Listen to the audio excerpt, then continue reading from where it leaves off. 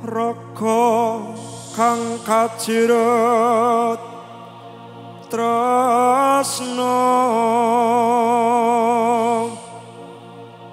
tinali tali ing jiwa.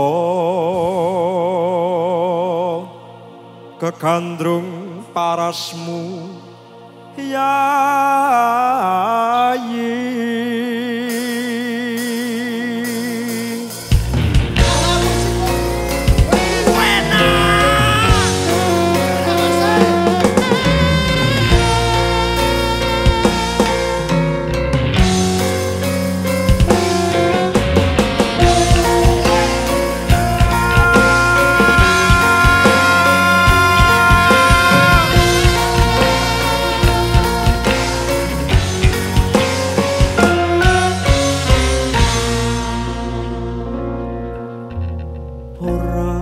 gampang nampa.